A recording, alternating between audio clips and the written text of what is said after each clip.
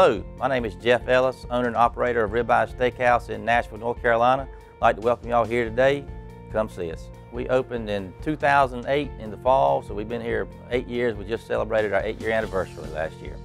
Our name is Ribeye, so of course we're very proud of our beef. We sell a uh, ribeye steak as well as a beef tenderloin, but we're probably more famous for our endless salad bar.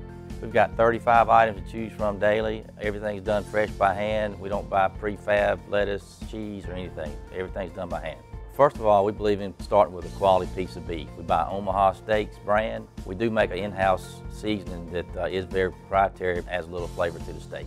Our staff knows our customers. We're in a small eastern North Carolina town, and our staff knows 80% of the customers that come in the door, and we make everybody feel like they're at home. One thing that differentiates our restaurant from other restaurants in any area is our cook actually comes to the table to take your order. That person that wants one medium rare, maybe closer to medium, those in between temperatures, cook actually gets to the table and based on facial expressions and the way they deliver their order, we can kind of get those in-betweeners right. Nashville is a growing community and uh, very proud to be here. Uh, a lot of the uh, city employees dine with us regularly.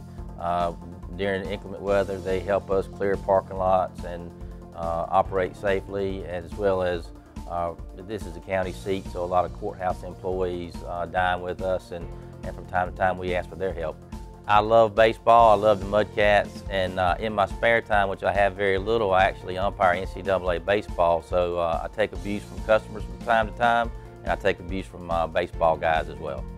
You may see me, uh, when you come see the Mudcats, you may be yelling at me behind home plate sometime from time to time. My personal belief that an important talent in life is handling people.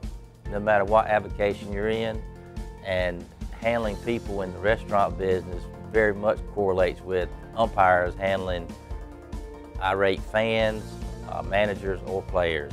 And it's all about handling people in the right way. Good food, great service. I just like to say, go Mudcats.